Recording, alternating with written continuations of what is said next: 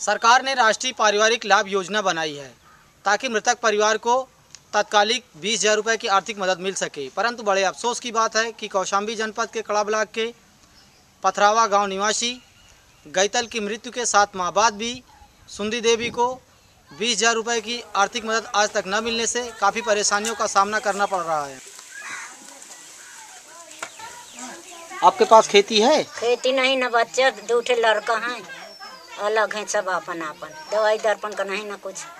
पति नहीं नहीं। क्या हो गया उनको?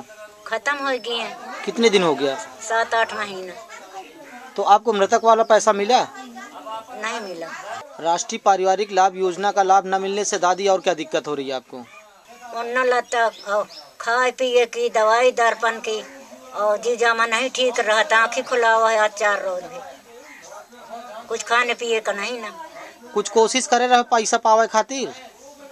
कोशिश तो कही थी कि हो जाए तो और ठीक हो। कागज़ वगैरह दिन कर फ़ोटो कागज़ किसको? प्रधान हन का तुम कुछ नहीं दिए न पता दिया उन्होंने क्या कहा था जब ले गए एक थे? एक दर पूछा बल्कि तो कहत रहा मिली मिली मिली मिली के कहते हैं कुछ नहीं पता लगा। कितने दिन पहले? अरे अभी भी हुई दस पंद्रह रोज। तब वो क्या कह रहे थे? इतने भर कह दिए ना कि मिली।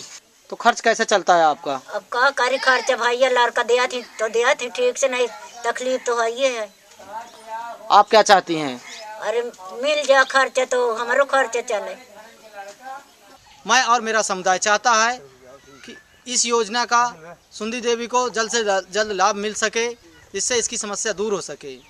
इस वीडियो को देखने वाले आप सभी दर्शकों से हमारी अपील है कि कौशाम्बी जनपद के कड़ा ब्लाक के वीडियो के मोबाइल नंबर चौरानवे चौवन, छियालीस, पैंतालीस, पचहत्तर पर कॉल कर दबाव बनाएँ ताकि इनकी समस्या दूर हो सके। मैं महेश कुमार कड़ा कौशाम्बी, उत्तर प्रदेश से इंडिया अनहर्ड के लिए।